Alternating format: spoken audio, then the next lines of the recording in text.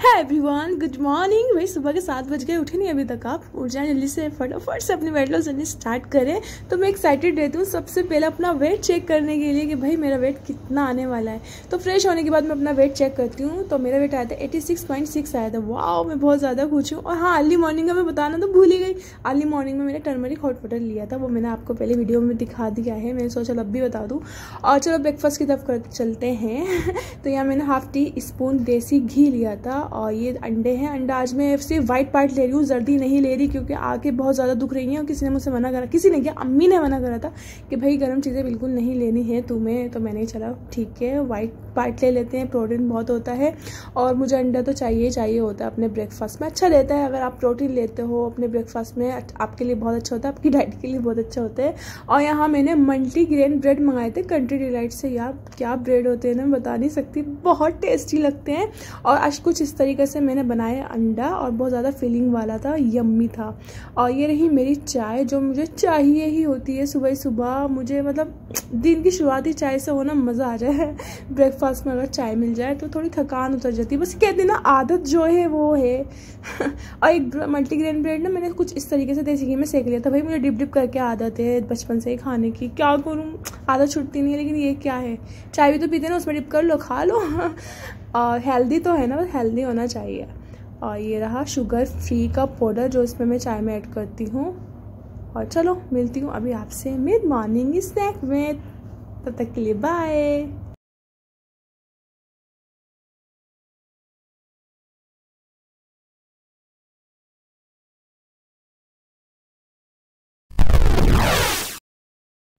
चलो जी मिन morning snack का टाइम हो गया है। दुखी और खुशी, हम दोनों साथ में वेट लॉस जर्नी कर रहे हैं। आपको पता होगा, आप मेरी वीडियो देख रहे होंगे पहले।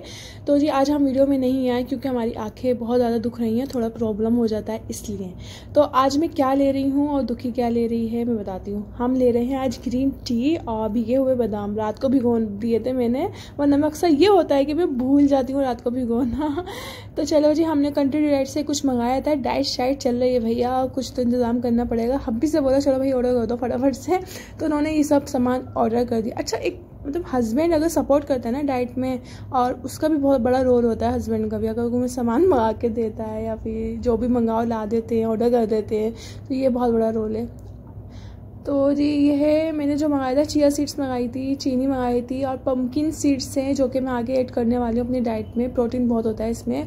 और ये रॉक सोल्ट है, इसकी सबसे अच्छी बात क्या होती है ना, आप इसे रात में भी ले सकते हैं और मतलब ब्लॉटिंग वगैरह नहीं आती। जैसे होता है ना, अक्सर वेट लॉस जर्नी में रात को सोल्ट नहीं लो, कम लो तो वेट लॉस ज़्यादा अच्छा होगा। तो आप थोड़ा बहुत रात में ही ले सकते हैं। और वो सारा सामान था, पता नहीं क्या क्या आप देख रहे होंगे। और ये हाँ देखना, मैंने वो मंगवाया था, जवार का, इन्होंने सीट वो भेज दिया, पता नहीं क्या कहते हैं। इसको पीसना पड़ेगा, तब जाके आटा बनेगा। चलो कोई नहीं लंच की तरफ़ चल देते हैं लंच दिखा देती हूँ मैंने, और खुद दुखी ने क्या लिया था। तो यहाँ मैं बना रही हूँ सैंडविच मैंने इसमें थोड़ा सा देसी घी ले लिया था। और हाँ ये पनीर देखो, ये घर का कितना अच्छा डिज़ाइन बनकर आया इसमें। हाँ तो बस दुखी और खुशी अपना बना रही हूँ। तो मैंने क्या करा था, थोड़ा सा हाफ़ टी स्पून ज़्यादा नहीं, अगर आप लो भी ना, तब भी चल जाएगा। तो मैंने उसमें शिमला मिर्च और अनियन डाल दी थी और ये मैश करके, क्रश करके इसको अच्छे से पनीर को इसमें डाल दिया था। बहुत जल्दी बन जाता है यार इसे, मेरे ख्याल से आधा मिनट भी नहीं रखता यूँ ही रेडी तैयार हो जाता है। कभी आप जल्दी में हो ना, इस तरीके के सैंडविच बनाना, बहुत ज़्यादा मज़ा आ जाएगा।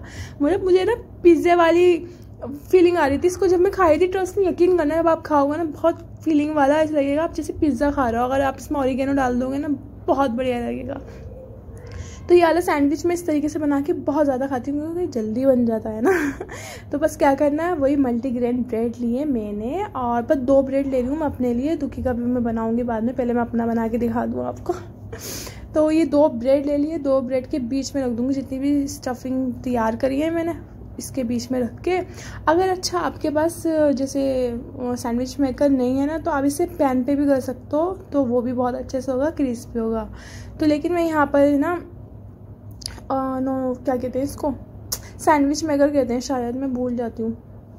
हाँ तो उसमें करूँगी। आप ऐसे करोगे, बहुत अच्छा फीलिंग वाला बनेगा और एकदम फुल हो जाओगे ये खाने के बाद। क्योंकि मैं यही ज़्यादा खाना पसंद करती हूँ, मुझे मालूम है इसको खाने के बाद कैसा लगता है। आप ट्राई करना और मुझे कमेंट्स में ज़रूर बताना है कि आपको ये वाला सैंडविच कैसा लगा, इसका टेस्ट कैसा लगा। अच्छा एक चीज़ और देखिए मैंने हम जितने भी सैंडविच बनाती हूँ ना मल्टीग्रेन ब्रेड में जो बनाती हूँ ब्राउन ब्रेड से हटके, वो टेस्ट बिल्कुल अलग आता है और उसके सीड्स बीच में आते हैं ना, बहुत ज़्यादा यम्मी लगते हैं, मज़ा ही आ जाता है। वो गरम गरम देख रहे होंगे, आपके मुँह में पानी आ रहा होगा ना तो फटाफट से कल या आज, अगर आप मॉर्निंग में देख रहे हो मेरी वीडियो तो यही अपने लंच में ले ना, मज़ा आ जाएगा बहुत ज़्यादा। और कोई इतना ताम झाम भी नहीं है कि भाई बहुत ज़्यादा ताम झाम है इसमें, बहुत आसानी से बन जाता है। चलो चलते हैं भाई इवनिंग स्नैक में।